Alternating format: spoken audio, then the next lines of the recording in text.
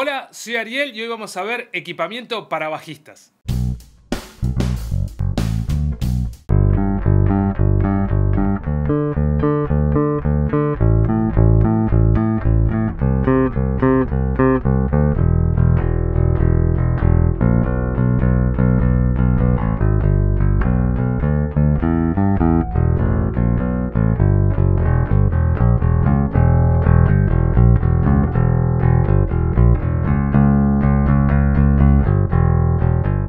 En el video de hoy vamos a ver las púas NPB y vos podrás pensar, ¿por qué estoy haciendo un review de púas? ¿Acaso no son todas lo mismo? Y la verdad en parte podría ser que sí, salvo que en esta ocasión vamos a estar viendo púas que son de metal. Este es un producto que llamó mucho mi atención porque antes de probar las púas NPB nunca había tocado con una púa de metal salvo alguna vez de adolescente cuando no tenía una púa a mano y utilicé alguna moneda. Las púas NPB vienen en su paquete individual y en la parte de atrás vamos a tener una etiqueta que nos identifica qué tipo de púa es el que contiene el paquete. Y esto es porque la gente de NPB produce púas de tres materiales diferentes, aluminio, cobre y bronce. Y además, dentro de estos materiales, de dos superficies diferentes, una brillante y otra rugosa. Cada una va a tener un sonido diferente y un ataque diferente. Al abrir el paquete y retirar la púa, nos encontramos con una tarjeta que dice Descubrí el sonido, mucho más cuerpo, brillo, volumen y ataque. Vamos a ver si esto es así. Entonces, vamos a probar esto haciéndole un review a cada una de las púas. A su vez las voy a estar comparando con una púa plástica, la típica púa que utilizo en todos los reviews que subo normalmente en el canal. En el caso de la púa estándar será una púa de plástico extra hard de 1.7 milímetros, mientras que las púas NPB de metal son de 1.65 milímetros. Primero voy a poner de referencia el sonido de la púa estándar, que es al que todos estamos acostumbrados a escuchar, para luego comparar cada uno de los modelos de púa de aluminio, de bronce y de cobre con la púa de plástico. Como siempre, el bajo va a estar conectado a mi placa M-Audio C600 sin ningún procesador previo ni posterior para tratar de escucharlo de la manera más transparente posible cómo afectan al sonido las púas NPB.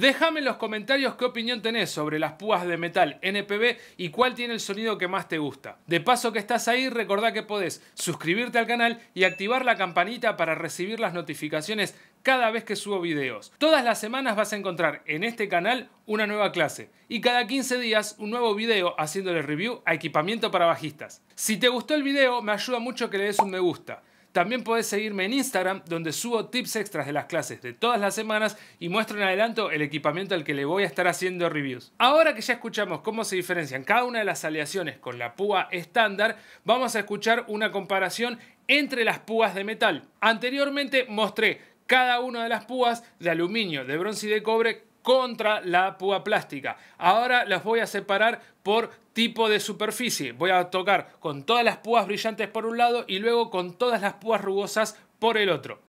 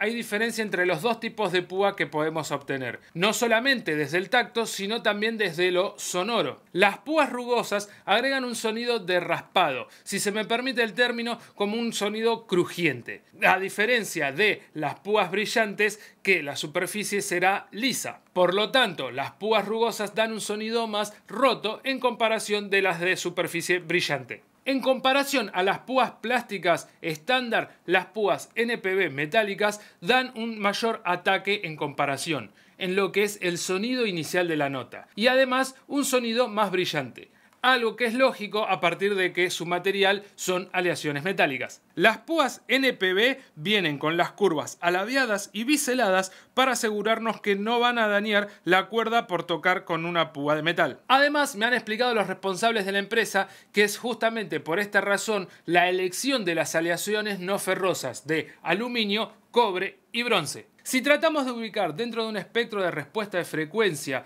yendo desde la púa más suave y de sonido medio a la púa más brillante y con mayor ataque, podríamos ordenarlos de la siguiente manera. Comenzamos con la púa estándar de plástico, siendo la que tiene el sonido más moderado en ataque y en respuesta sonora. Luego comienza a aumentar la respuesta sonora y además a aumentar en agudos con las púas NPB, comenzando por la aluminio brillante luego aluminio rugosa, cobre brillante, cobre rugosa, bronce brillante y la de mayor ataque y sonido, la de bronce rugosa. Las púas NPB tienen un valor que varían según el modelo de púa que estemos buscando. A julio 2021, que es cuando estoy grabando este video, las podemos conseguir desde la de aluminio rugoso, que tiene un valor de 380 pesos, hasta la de cobre brillante siendo la más cara que tiene un valor de 505 pesos. También se puede adquirir el pack completo de las tres púas rugosas y las tres púas brillantes en un valor de 2.420 pesos. Como siempre, en la descripción del video te dejo los links para que puedas ponerte en contacto con la gente de